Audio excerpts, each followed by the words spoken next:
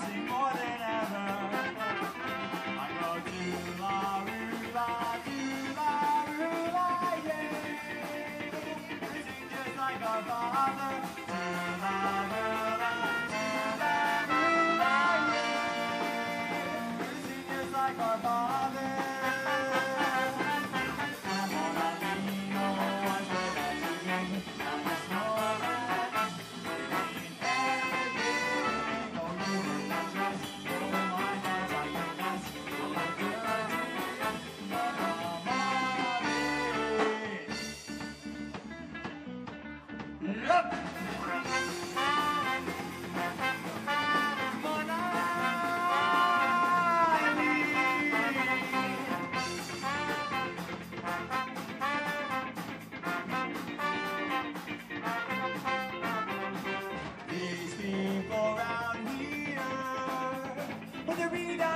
single guy.